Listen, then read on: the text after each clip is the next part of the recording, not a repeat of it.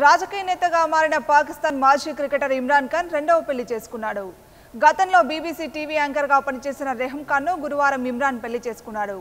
వీరి పెళ్ళి ఇస్లామాబాద్ శివార్లోని పాకిస్తాన్ తెహ్రికి ఇన్సాఫ్ చీఫ్ గాలా ఫామ్ హౌస్లో నిరాడంబరంగా జరిగింది. సన్నిహితులు మిత్రులు కుటుంబ సభ్యులు మాత్రమే హాజరైన ఈ పెళ్ళి ముస్లిం సాంప్రదాయం ప్రకారం జరిగింది.